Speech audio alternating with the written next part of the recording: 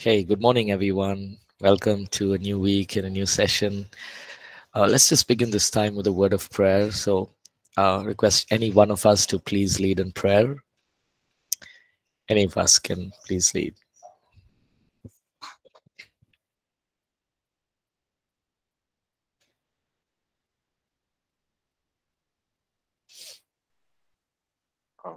Let's pray. Dear Lord Jesus, we thank you, Father God, for this wonderful day.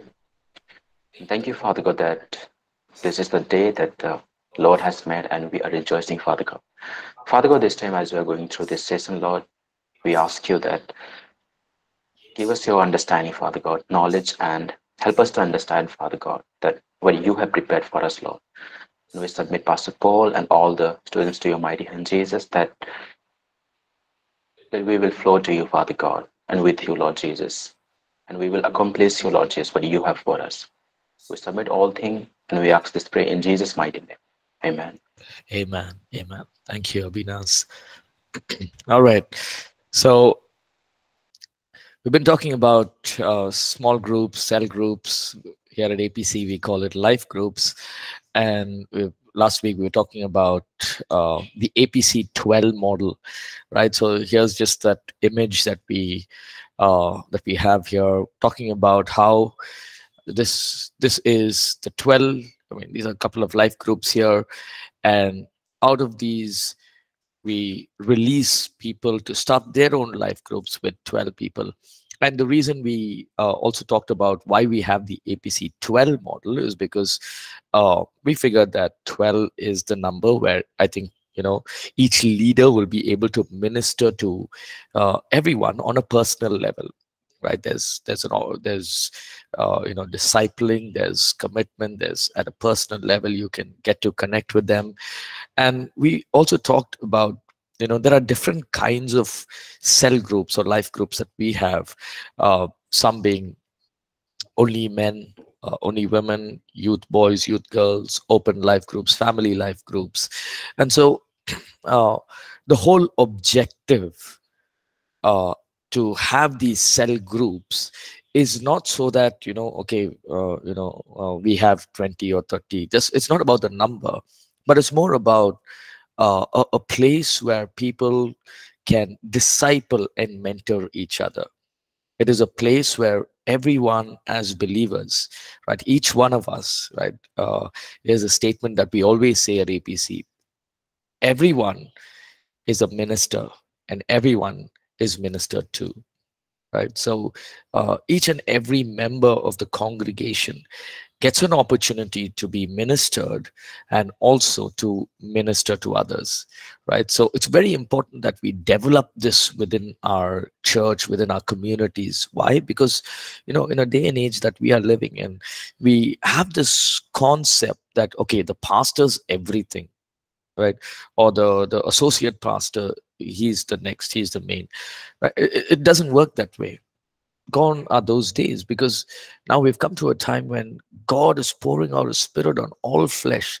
Even children are begin to, uh, you know, are beginning to flow in the gifts of the Spirit, and uh, you know, we we can be in the workplace Monday to Friday, uh, but God can use us powerfully in the workplace, and also minister to many people. So, so we believe that each and every member, regardless of you know their careers regardless whether they're in full-time or part-time ministry all of that don't matter.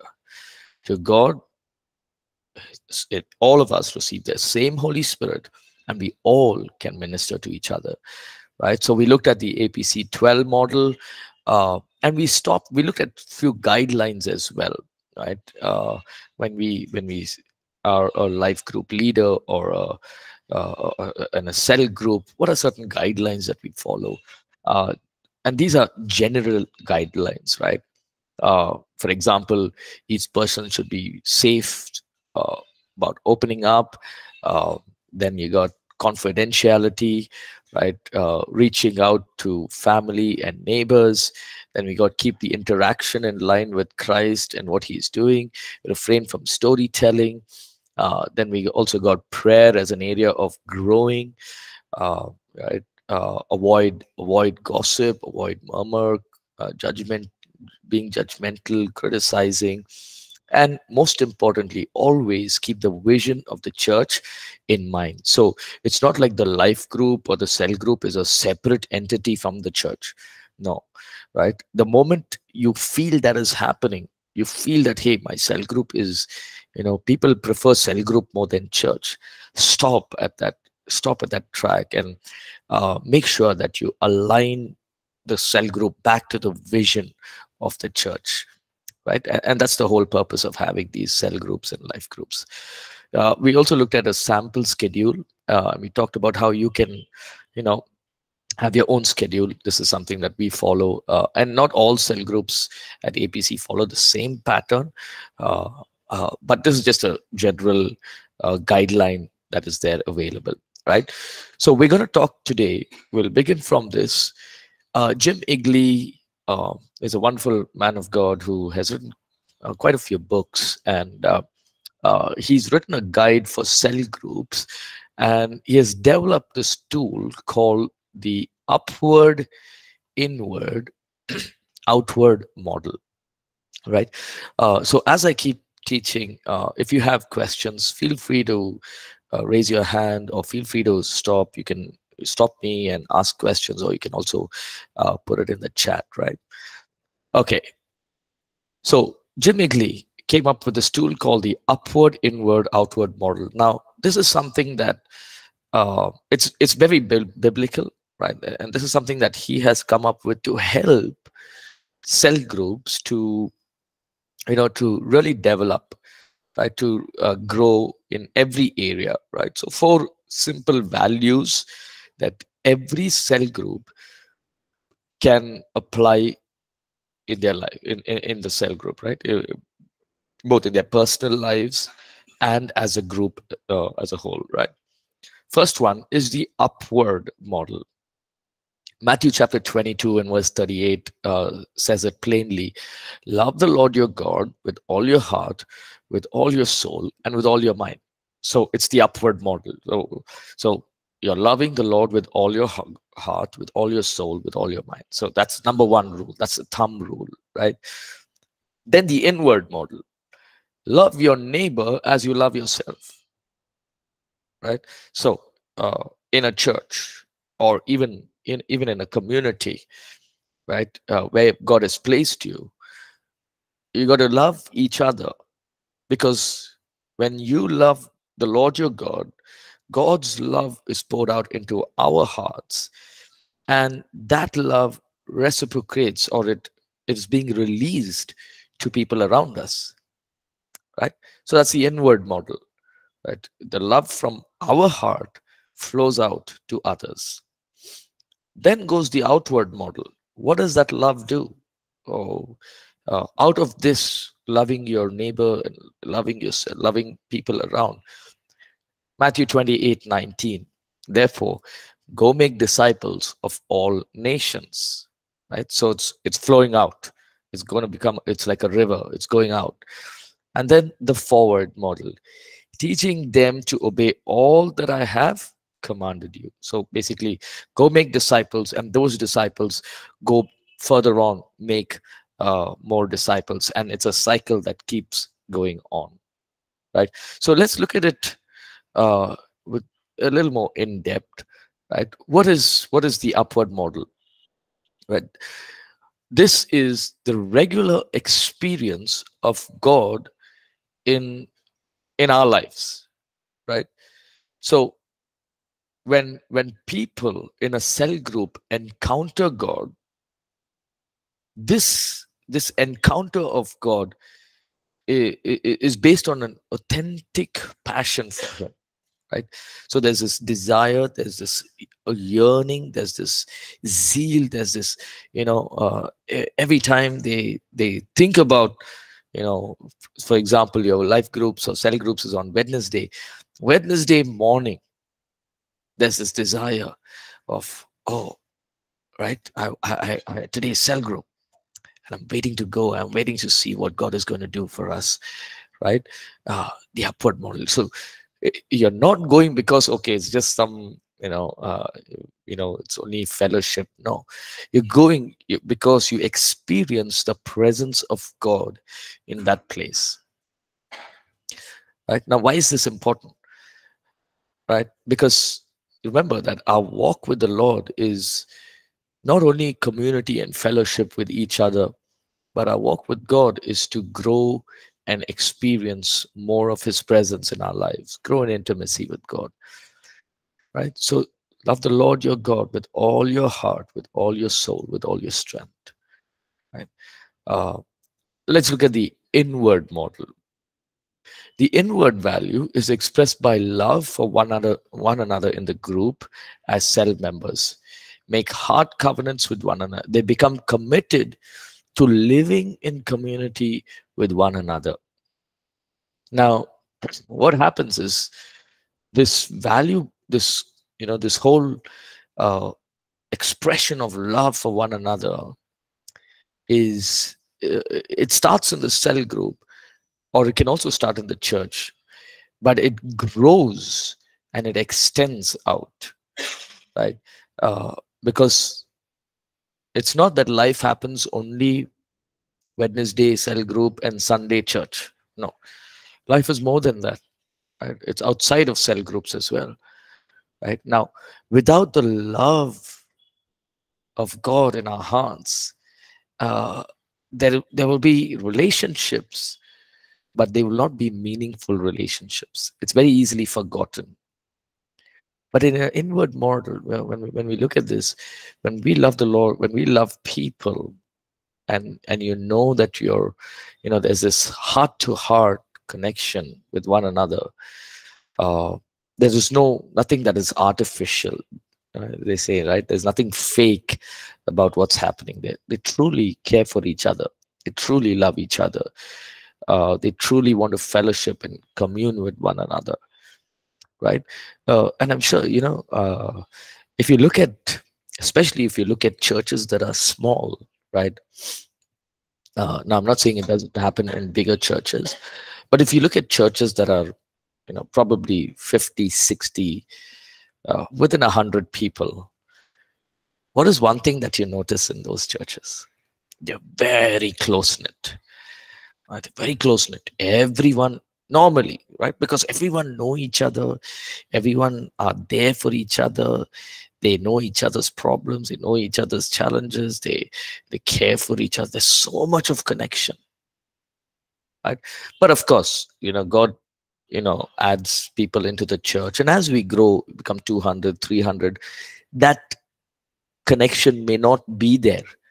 And that is why the cell groups here are important so it's not like you know uh, you know just coming okay i don't feel cared for i don't feel loved in the church no you got an option we got these cell groups why don't you go uh, you know there are uh, relationships that can be built right so it's wonderful yeah, I just want to share.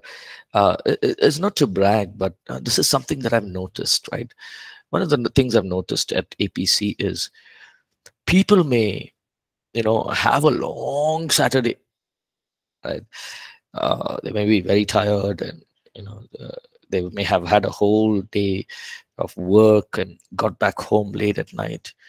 Uh, but one thing I notice is that on Sunday morning even if they have to be there at 7.30 or 8 a.m they are there right now it's not because they are there or, or because it's sunday i have to be there no because you know for many of them it is a place where they have built meaningful relationships right? So they don't let go. You know yesterday i was talking to one of our church folks and he was saying monday to friday he he travels on work. He's got his own business. So he travels on work and all of that.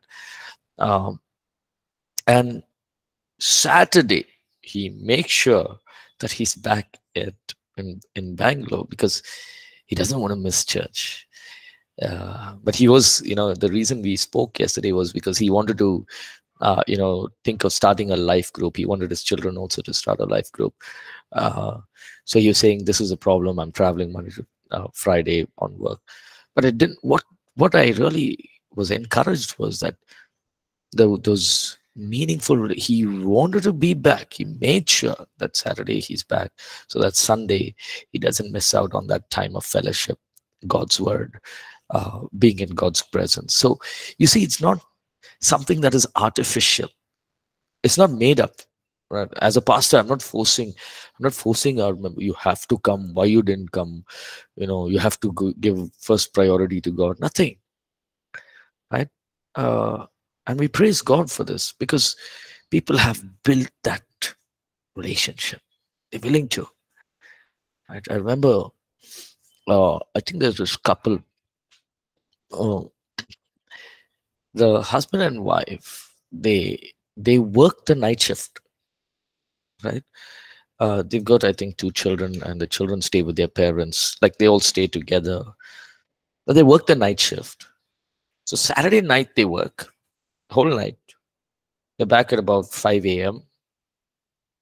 5 a.m. they're back, they just rest for a while. They freshen up, get the children, two kids, get them ready. They, you know, get ready, everything, get the kids ready, pack their tiffins, everything. And they come for the 8 a.m. service. And the reason you know, one of the main reasons they come is because of fellowship and also because you know the children's church has been helping the children. So but i was amazed. I didn't know that this is what they were doing. I just happened to talk to them. This is what they said. We worked the night. So i asked them how many hours did you sleep? He said probably an hour. Uh, and i was amazed at this level of commitment but I, I, I see and they're not just coming and sitting in church. You know the the wife is carrying one child and you know setting up the book table. The other one is serving in the children's church you know in the worship team in the children's church. And i was amazed at how you know when when we love god we do things not out of obligation. We do things not because the pastor is watching or the leaders are watching or i want to become a leader one day. No we do things because we love the lord our god with all our heart. And out of that comes an outflow of everything right?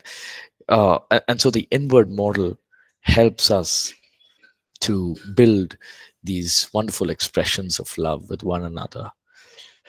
Now is it enough to love the lord your god have good fellowship, good community within the church. It, it has its place. It's very important, right? When you look at the book of Acts, it had its place, right? We saw that, you know, they, they met together every now and then. Uh, they met in groups, they fellowship together, they broke bread, they they cared for each other, right? We see in the book of Acts, they met each other's needs, meaning even their material needs. They were willing, you know, people sold off properties and lands and gave to the those who were in need. So we see all of that is important. But what is the command that Jesus gave us? He said, Love the Lord your God, but he didn't say, Have it for yourself. Or be here, be just be safe in Jerusalem. Or just be safe in Judea.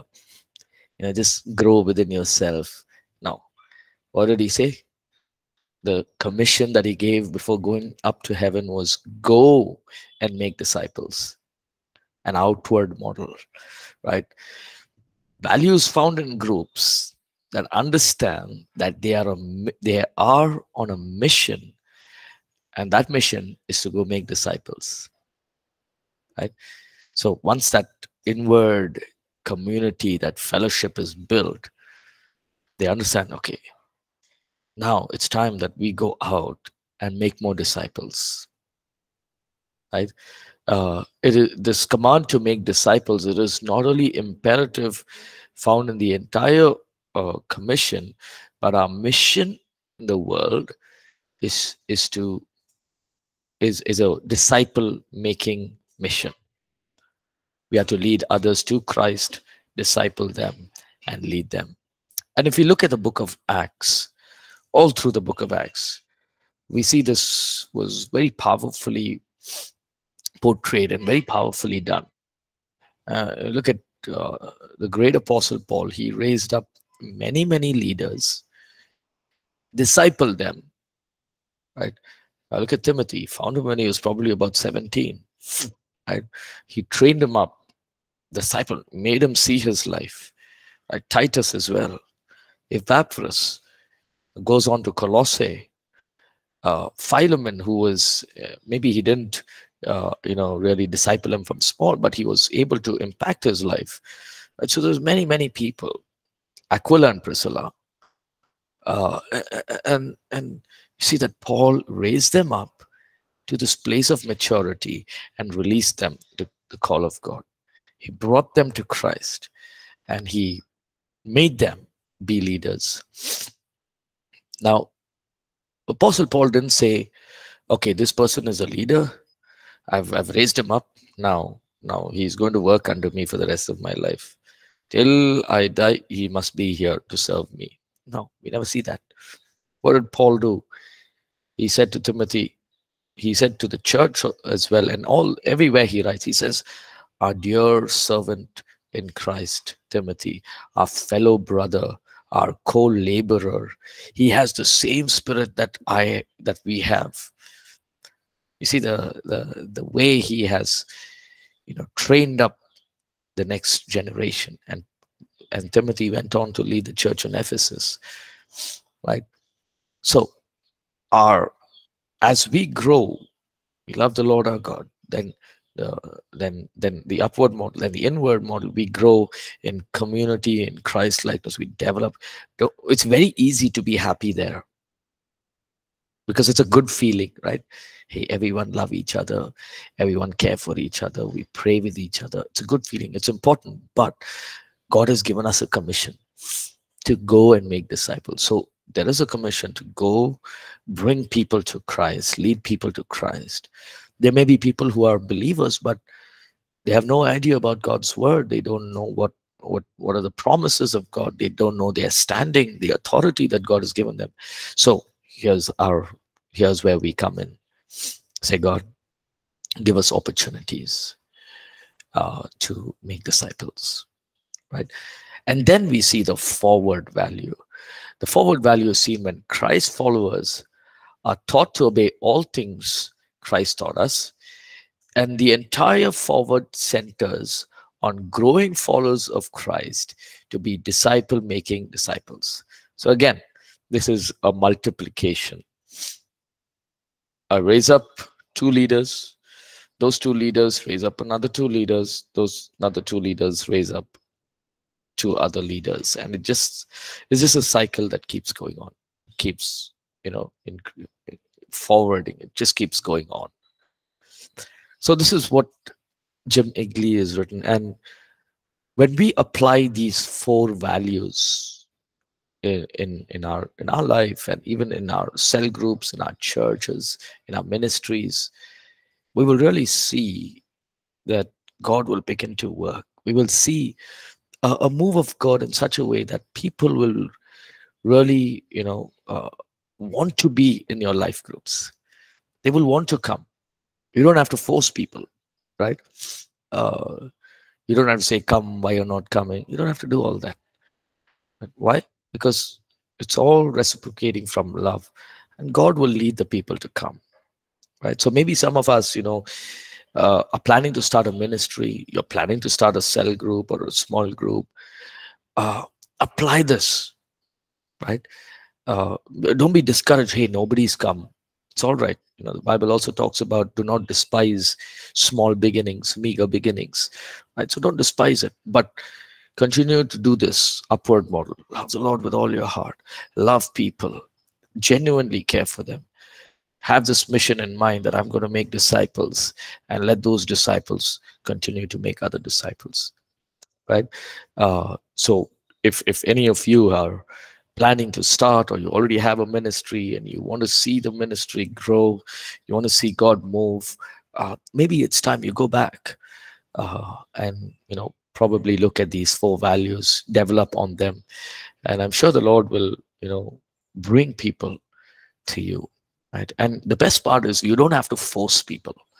Really you don't have to force because you know i remember early days uh, uh, when when i when i began to in ministry i would i would always tell people i mean follow up is good calling, checking on them. That's good. But I, you know, what I used to do, I say, why didn't you come to church? You know, we, you, you know, it's only one Sunday in a in a week, just one and a half hours or two hours, you know, in a week. Just keep it aside. Avoid other things, you know. Um, or you can always, you know, go out with family on Saturdays or Sunday after church. You can go. I literally tell the church people this way. And I realized that hey, I need to stop this. Uh, and I thank God for the Holy Spirit who, who you know brought this to my attention. So don't do something that is forcing people. Don't don't put pressure on them. Let the Spirit of God work, and people themselves will come right? And then i began to really spend time in god's word really spend time in his presence and pray for god to you know uh, let there be miracles let there be healings let there be words of knowledge prophetic words. So I began to ask god to flow in all of this. And sure enough over time people started coming. I didn't have to force them right? Uh, i remember covid time we went online in uh, you know cell groups and also i was in mangalore that time. So the church in mangalore as well uh, we said hey can we do something on zoom? Uh, and to my surprise everyone joined. I just said you know all i said was hey shall we pray on wednesdays and uh, sundays we can also meet and you know probably break bread uh, partake in the lord's table together. Everyone joined. I didn't have to force them. I didn't have to ask them. You know some of them uh, had no idea about Zoom because a lot of them were retired uh, senior citizens. They they didn't have an idea. So what they would do, they would call and ask, "How do I download Zoom? How do I connect?" Uh, we didn't ask them. Right? Uh, oh, do you know how to get into Zoom? Do you no? They did everything, and I saw the shift. Right, the initial time I used to force them, "Hey, why don't you come?" But I saw the shift. People were coming on their own why? Because the presence of God, the Spirit of God, is able to minister to them. It's not a it's not a fleshly driven work. It's it's driven by the Holy Spirit. Right?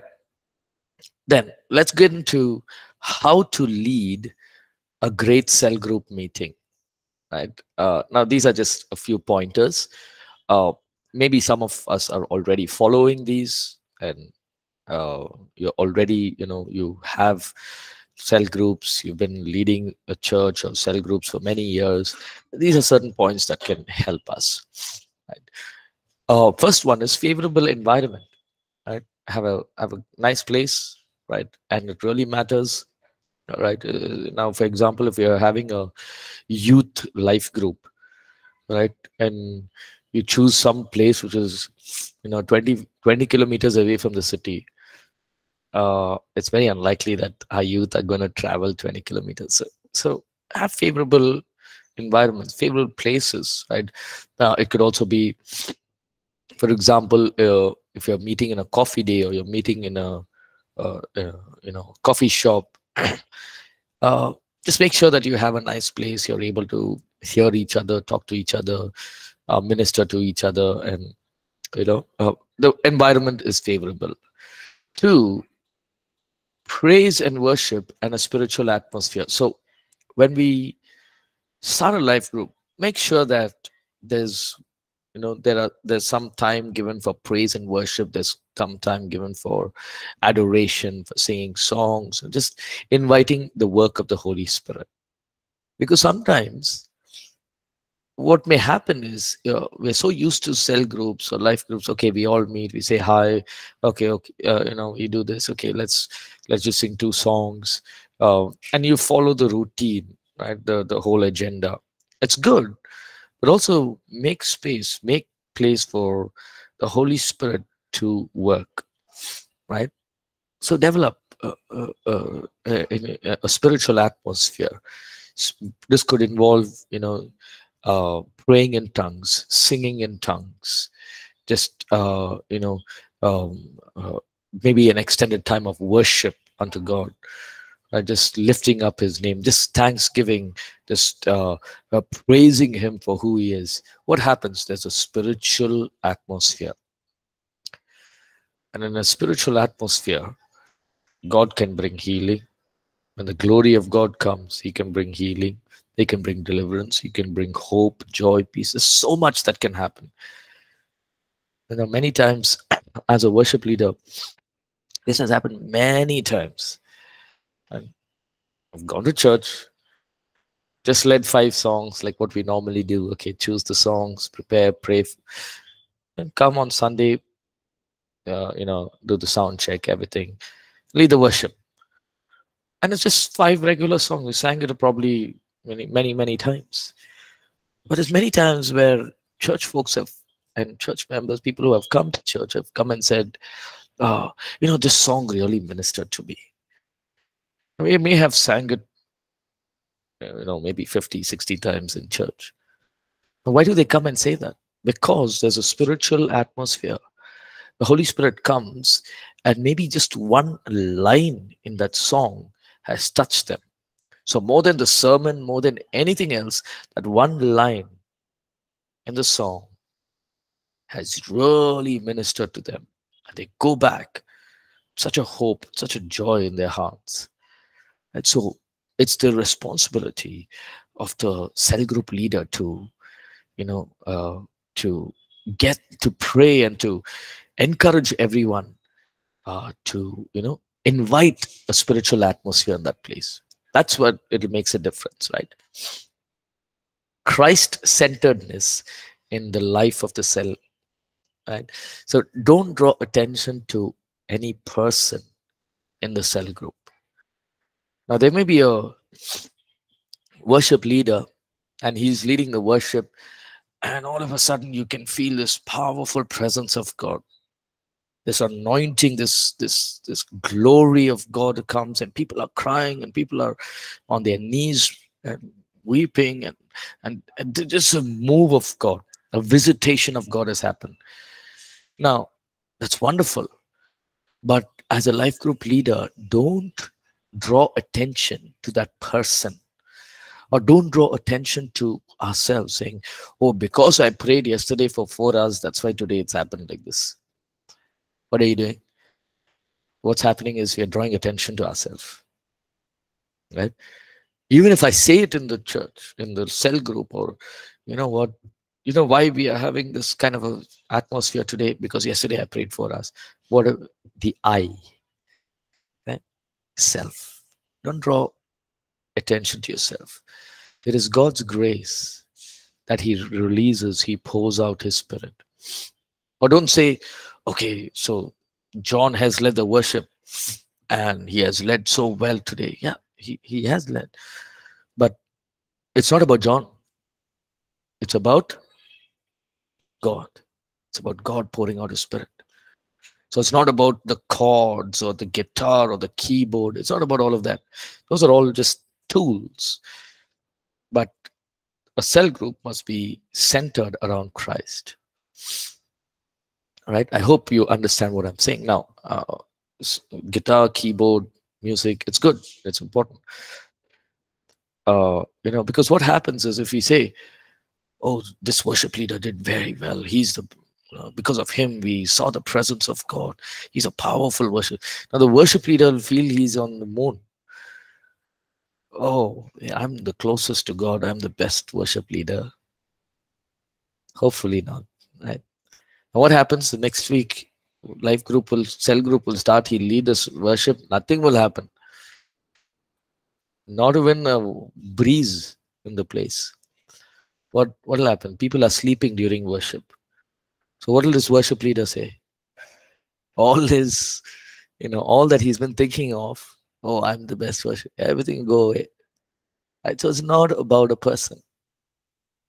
God uses the people you know instruments and the songs but it's the presence of god that makes the difference right? So as a worship leader let that be center right? And then prayer priority uh, uh, pray for your pastor pray for the life group leader for the church for the pray for the needs of the cell group uh, and then pray for oikos which means which means immediate uh, unsaved family and friends who are around us, who can be part of the life group and who can, uh, you know, experience Christ in their life.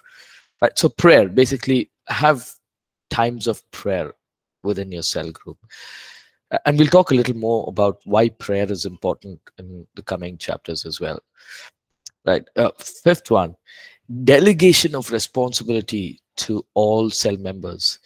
Right now, this is again very important. It's a practical thing, but it's very important. Right recognize and giving opportunities to cell members. Now remember, cell group is not a church service. It's not a worship leader and the pastor preaching, and then uh, in the end we pray and close. No, it is a place where everyone minister and everyone are being ministered to. So, for example, you have a cell group, you have ten young people in the cell group. Now, don't make two people always do everything. Know, give everyone else opportunities. And so you recognize you say hey um, so last week this boy had led the worship. So this week why don't you lead?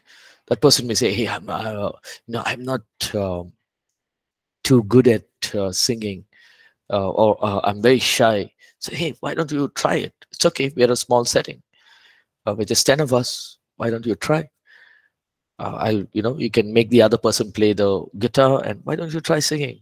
Now you never know how good the singer he is. He was just shy, right?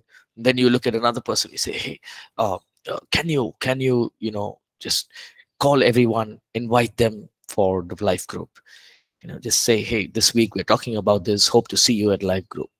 Then you call, you choose another person you say hey uh, why don't you be in charge of the prayer time? You write down five prayer points that we're going to pray this week right? Then you look at another person. You say okay uh, hey why don't you uh, be in charge of uh, you know uh, uh, just you know just meeting everyone's needs meaning just if people have prayer requests they can write it down give it to you.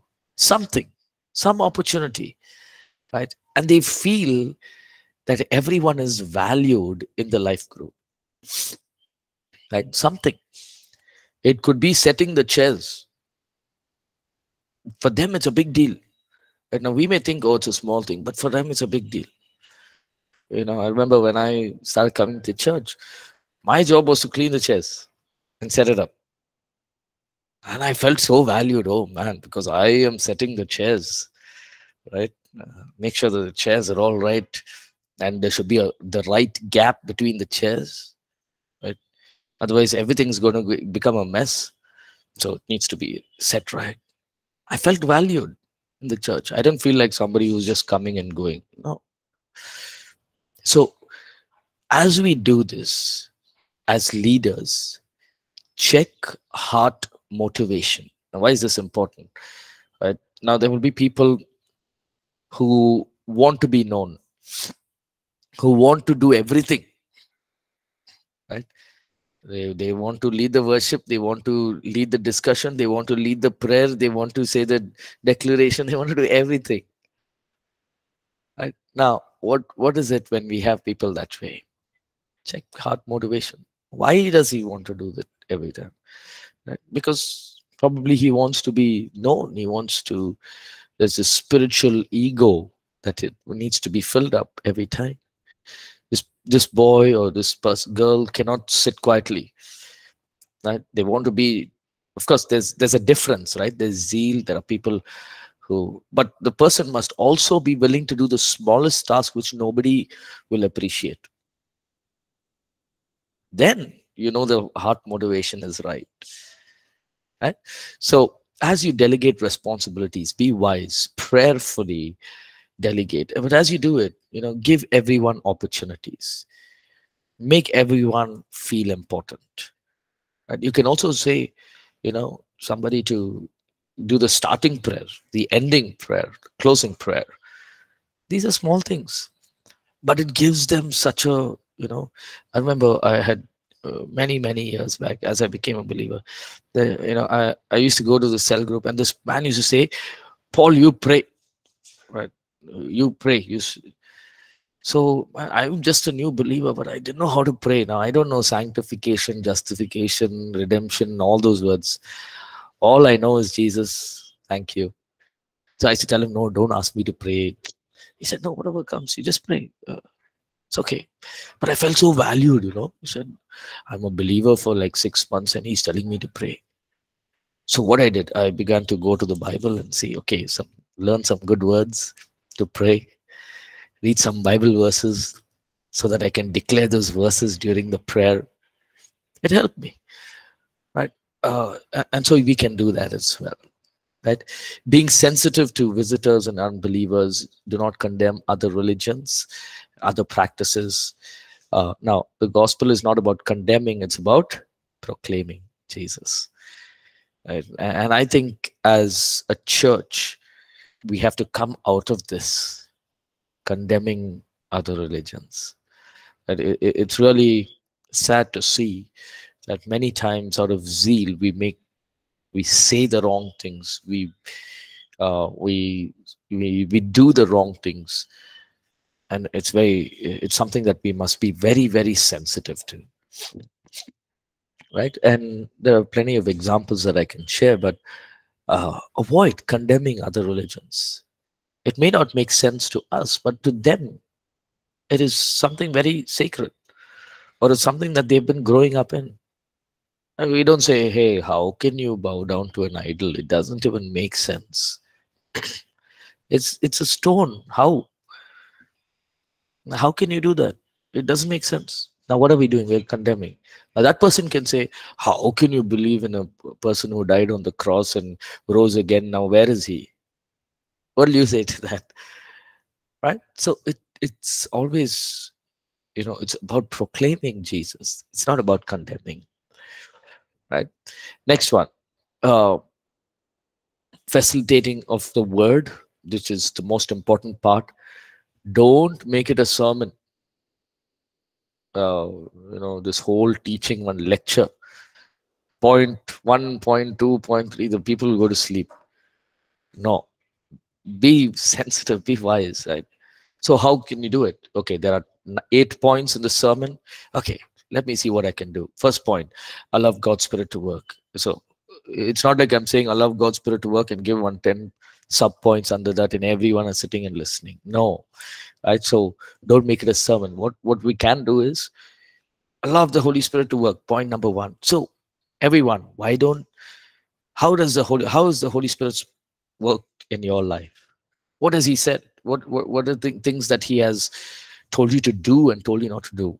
Maybe some of you share. What are you doing? You're allowing people to discuss. You're allowing people to share their thoughts. So it's not one person talking there's no ppt there uh, you know projector on the wall and saying this is point 1 to 10 no no need all those things right? Just make it very simple make it very open allow people to discuss right? Okay point 2 point 2 is the power of god's word. So hey so this is what happened in my life you know. I was reading the word god's word really ministered to me and this situation and i was able to overcome the situation. So maybe some of you can share uh, and i'm sure all of them will have a story right? Sometimes as leaders we think only we have the story. Everyone has a story. And we learn from each other right? So allow people to discuss keep it open ask questions. Now the moment you feel a discussion is going we're talking about the power of god's word and somebody is talking about israel and egypt and all then you stop the discussion you stop it there you say hey let's go back to what we were talking about right? Uh, and that's where you have to put your foot down on certain things as a leader. After the meeting formally ends meet up with everyone you know uh, if there are new people is uh, you know get their details talk to them get to know them. And the last one conflict handling and problem solving. There is no place where there is no conflicts. There's no place where there are where problems have to be solved. Everywhere there will be some conflicts or the other now, these conflicts can be religious conflicts, right? They can be because of a worship song. Two people can have differences because of a worship song. I don't agree to the song Psalm in, in the in the book of Psalms, I think it's 52. Created me a clean heart, O God, renew a right spirit within me. Cast me not away from thy presence, O Lord. That line is there in that song, and it's in the in, in the Psalm. Now, two people will have a problem with it. They may say, Hey, this song is not good. Don't sing this song. Why? Because now David is singing in the Old Testament, cast me not away from your presence, from uh, and take not your Holy Spirit from me. Now we are in the New Testament. Holy Spirit is always with us. So don't sing that song. Two people can have a problem with that. Now, as a leader, what you're going to do? Are you going to tell them don't sing the song? Or uh, who are you going to please? What is what, what what is the best way to solve this problem? But you have to solve it. Because two people have a problem. It's a worship song. It's not about uh, jealousy, anger, nothing. Because of the song, there's a strife. So, as a leader, you must be able to, you know, handle these conflicts. Do not sweep it under the mat and say, okay, problem solved. Because after two months, the worship leader will choose the same song again and it'll become a problem again. Right? Resolve problems. Deal with it. Deal with the problem. Try to resolve it. Now, how they respond to that is not under your control. But if they have matured and they and you know they they understand what's happening, and they will definitely understand and you know uh, be a part of what you're doing in the cell group. Right? So let's take a break. Uh, we'll come back at 10 o'clock and continue from where we stopped.